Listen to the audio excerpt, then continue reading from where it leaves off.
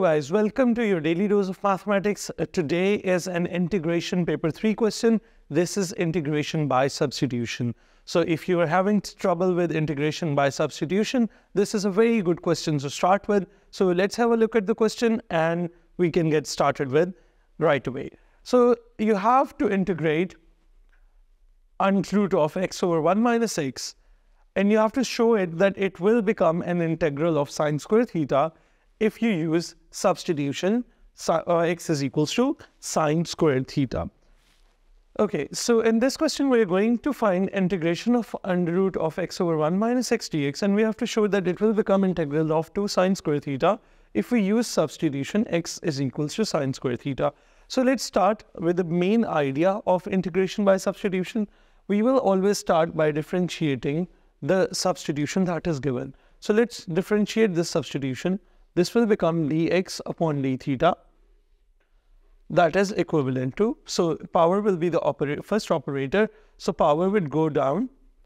So it will become 2 sine theta. Power would reduce by 1 and you multiply with the uh, differentiation of the box. That is sine theta would become cos theta times 1. So this will become 2 sine theta cos theta. And if I make dx as the subject, it will be 2 sine theta cos theta d theta. So this is the first step of integration by substitution that we always do. What we do is we differentiate the substitution that is given and make dx the subject in this differentiation so we have done that successfully. Let's move on to this part. Now we start uh, substituting uh, sine square theta in the place of x everywhere. So this will become,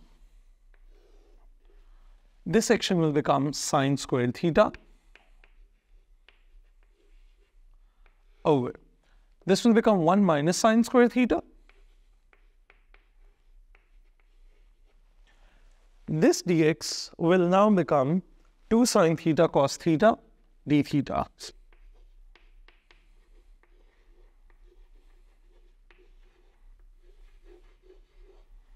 All right.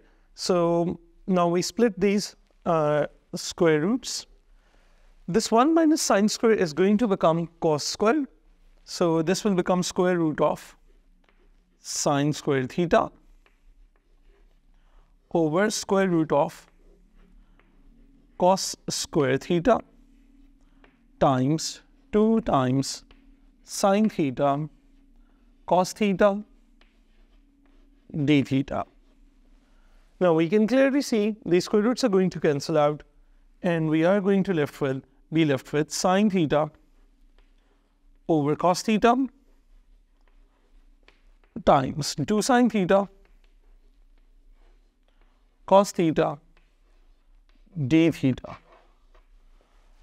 All right, over here, things have become very simple now. This cos theta will cancel out with this cos theta, and you're left with integral of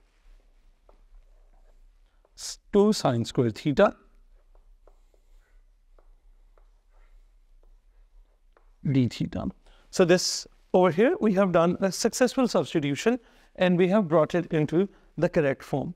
Now, in this process, this is of course half of the question. The next half of the question is going to be uh, how to integrate this, but that's for another video. We will cover it in some other later video. I will just leave a subtle hint for those of you who want to solve this.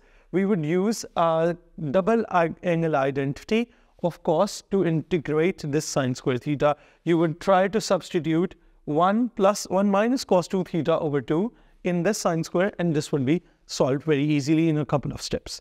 So if you like this video, if you've learned something from this video, do share it with your friends or anybody who, whom you know might need it. If you have any comments, any suggestions, any queries, just leave us a comment below and I'll see you in the next video. Goodbye.